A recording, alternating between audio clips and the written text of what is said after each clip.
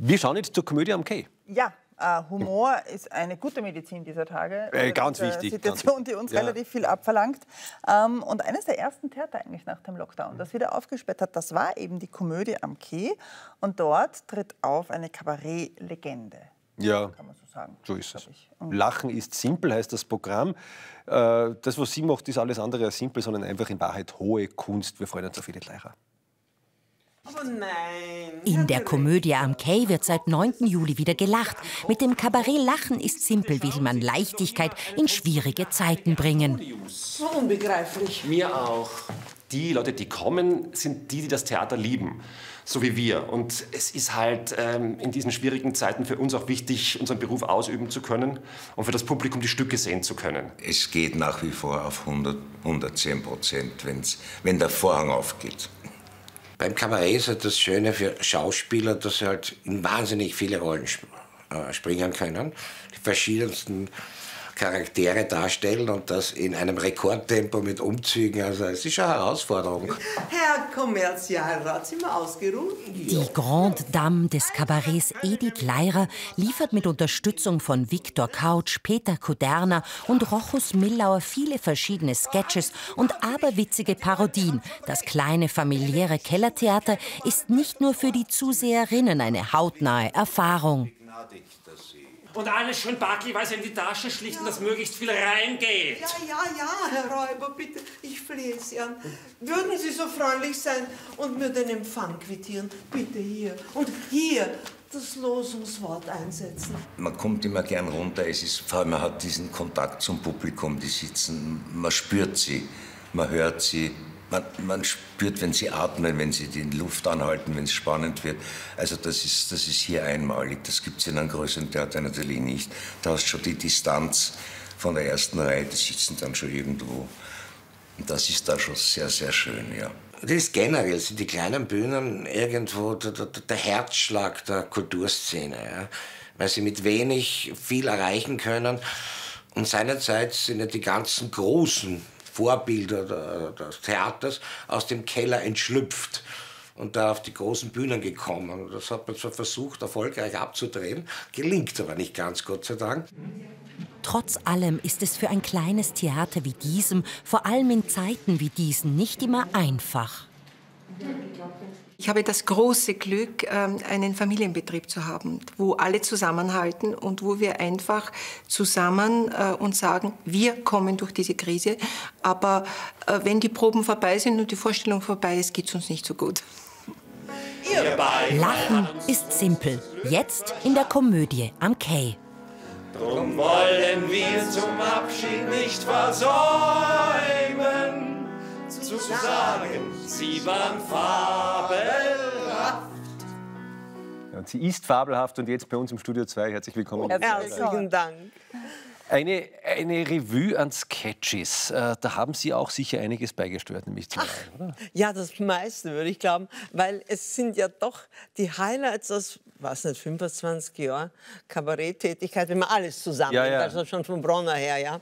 Und äh, ich war ja entgegen vieler Annahmen nie bei Farkas, aber ich war beim Flossmann. Lange Zeit im Simpel, 3800 Vorstellungen. 3800 Vorstellungen im Simpel, aber das ist jetzt richtig gehört. ist viel, nicht? Ja, ja ja. Ja. So, also, aber dann natürlich, die meiste Zeit meines Lebens habe ich Theater gespielt. Aber das hat ja eigentlich mit Kabarett ganz, ganz viel zu tun. Nur, dass man bei Kabarett lernt, mit ich würde sagen, mit drei Strichen eine Figur zu zeichnen. Es ist ein bisschen was von Karikatur dabei, ja. Aber es ist auch, ähm, dass man eine Rolle in ganz, ganz knapper Zeit auf die Bühne stellt als Figur nämlich und nicht diesen breiten Bogen und der Entwicklung hat eines Theaterstückes, sondern es muss gleich klar sein, äh, auch ihre dunklen und hellen Seiten. Also man sollte das möglichst schnell äh, zusammenfassen. Also dieses mit drei Strichen zeichnen, das äh, lehrt einen äh, die Tätigkeit beim Kabarett schon. Jetzt ist es, ja. es ist es natürlich irgendwie, wir sehen es ja auch, das Publikum irgendwie geht von einem Lacher in den nächsten und man kann sich jetzt eigentlich als Zuseher gar nicht vorstellen, dass ihr nicht auch manchmal lachen müsst. müssen wir. Wie ist das? Oh, müssen wir. Äh, öfter als uns lieb ist. Äh, wenn, wenn überhaupt, wenn Hopperlas passieren. Das ist ja was Schreckliches. Oder wenn jemand was ganz Treffendes sagt, wie, schau, der in der ersten Reihe schaut aus wie der Justin. Ist das mal? Ja, wirklich. Und dann es ist ja so dumm. Man lacht ja so auf der Bühne über Dinge, die man privat nie lachen würde. Aber da hat man irgendwie einen anderen Hysteriepegel auf der Bühne. Und da, da ist man in der Tat also äh, oft lachgefährdeter, als einem lieb ist. Aber das ist ja nicht unbedingt abträglich für die Stimmung im Saal dann, oder? Wenn man, wenn man selber noch nicht Wenn Spaß das hat. Publikum weiß, weshalb wir lachen auf der Bühne, ist das völlig in Ordnung und die lachen mit. Aber wenn sie es nicht wissen, ist das, würde ich sagen, nicht so gut. Ich bin ja überhaupt äh, eine Gegnerin von, von Lachen auf der Bühne oder, oder unpassenden Aktionen auf der Bühne, die nicht zum Stück gehören. Aber äh, es passiert einfach, ja? Die Situationskomik, ich meine, die kennen wir alle, die ist Ja. natürlich fatal. Ist Ihnen bei diesen unglaublich vielen Auftritten mal so ein richtiger Lachkrampf passiert, den Sie innerlich unterdrücken mussten? Es war so arg. Ich bin schon auf allen Vieren auf der Bühne gewesen im Simple einmal. Aber wir waren alle vollkommen geschafft. Aber das Publikum, Gott sei Dank, auch. Die haben so mitgelacht. Wir haben uns gegenseitig nicht erfangen. Also das kann passieren. Aber es, es macht nichts. Im Gegenteil, es bringt ja, schauen Sie, wir verkaufen ja Stimmung. Und das ist ja auch ganz wichtig. Also, und, aber wie gesagt, die Leute müssen wissen, äh, um was es geht. Dann ist es in Ordnung. Sie haben schon kurz angesprochen, Gerhard Bronner hat Sie noch nach Wien geholt. Sie sind mit Qualtinger auf der Bühne gestanden. Nein, nach dem Qualtinger. Nach dem Der Qualtinger. Qualtinger ist gerade weg gewesen. Okay, Und die beiden haben sich ein bisschen über äh, Ah, die waren nicht so gekriegt. Die waren nicht mehr gut miteinander. Und da ist er quasi weggegangen, der meiner Meinung nach ja, der wesentlich bessere Darsteller war. Nicht Ja. Äh, Bronner war ein Genie in seiner Art, äh, Musik zu komponieren und, und, und Ideen zu kreieren und, und Texte zu schreiben. Also auf der Bühne ist so viel Gehirnschmalz damals zusammengelaufen, das muss ich schon sagen. Im Vergleich zu heute, das kann man immer mehr vergleichen. Also da, das, das war schon eine Freude, mit diesen Leuten zu arbeiten. Ja, großartig. Weil die Sketches auch immer einen intelligenten Hintergrund. Natürlich haben wir auch Viecher reingebracht, die witzig waren.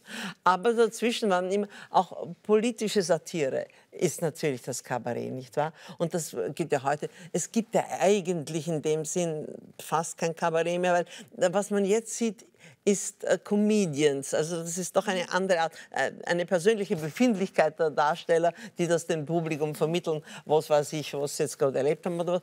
Und ähm, äh, Kabarett ist Mini-Theaterstücke.